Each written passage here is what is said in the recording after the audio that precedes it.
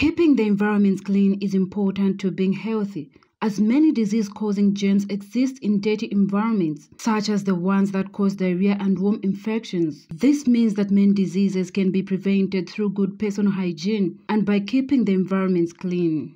On this account, Vice President Mutale Nalumango has launched the Lusaka Cleaning and Drainage Clearing Campaign with a call for concerted efforts in keeping the city clean. Speaking during the launch of the Lusaka Cleaning and Drainage Clearing Campaign, the Vice President has called for individual mindset change towards the promotion of cleanliness in workplaces and homes. Ms. Nalumango further says every citizen should take responsibility to clean the environment and cleaning the Central Business District CBD should not be left to the City Council, but everyone that trades in the area. I am saying let us take responsibility.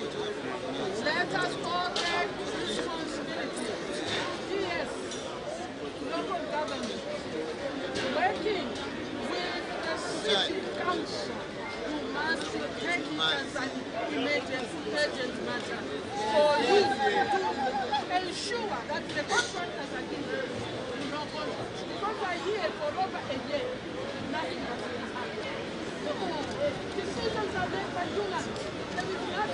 And some of the traders who took part in the cleaning exercise has this to say. It's a problem facing in Zambia zinaweza tufunga tushita contribute.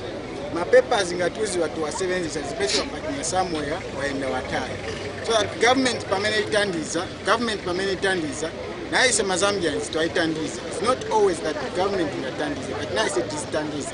ngatiuze watukutya mabanana wapakinga wapereka kwa mushi so that baja wasta collect wakabwera pesa. Ku so tafile kwaika chifire kala almost two days or three days out fire bafumya fast fast kaili ni many way balaposa chiposepose amabini takuli yakuposa However, the Minister of Health Sylvia Maseo announced to the general public the cholera outbreak in Vubu district, Eastern Province.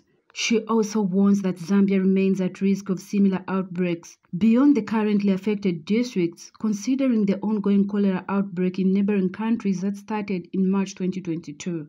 Margaret Chota, Muvi TV News in Lusaka.